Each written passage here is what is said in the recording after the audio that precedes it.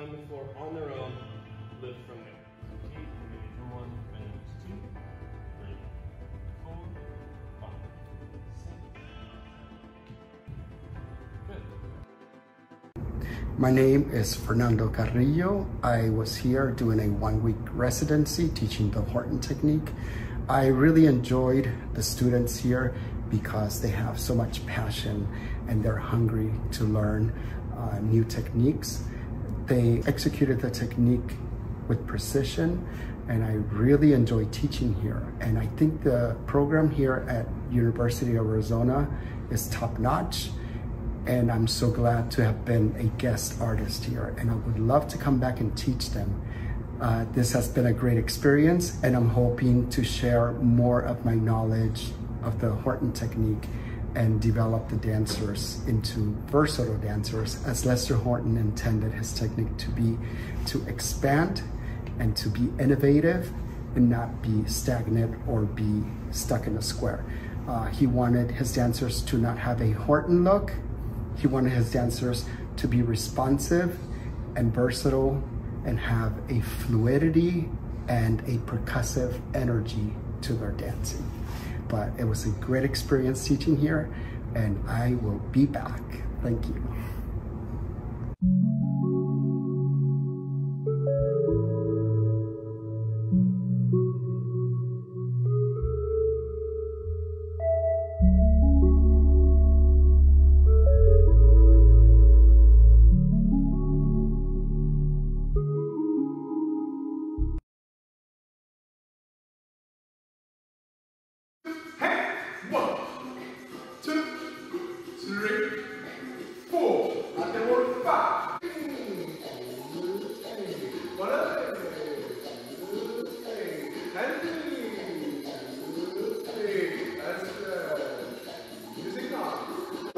Five. Hold six, seven. Hold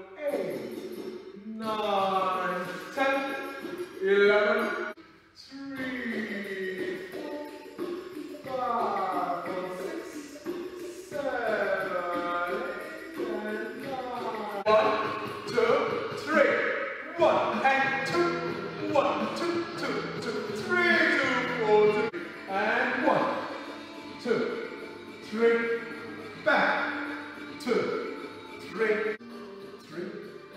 One, two, three. Back. Two.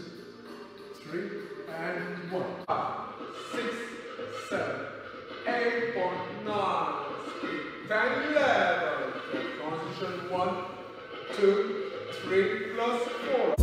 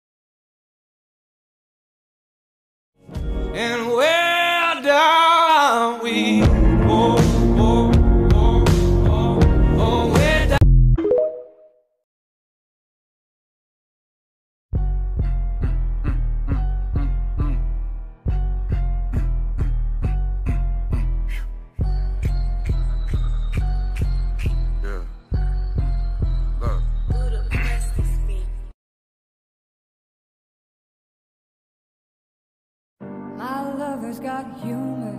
She's the giggle at a funeral. Knows everybody's disapproval. I should've worshipped her sooner. If the heavens ever did speak, she. Here we go, basic flat back. So here we are coming up from a stretch, trying to maintain alignment between the arms and the rest of the torso, keeping the back in alignment and the head uh, neither dipping down nor arching back.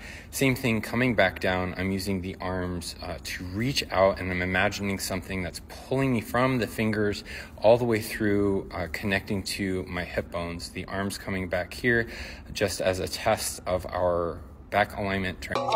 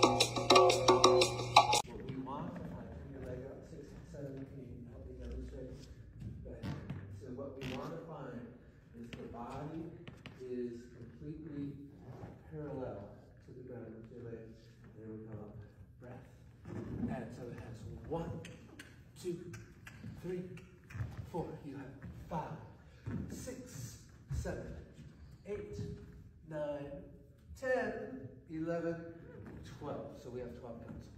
One, two, three, four, five, six, seven, eight, nine, 10, 11, 12.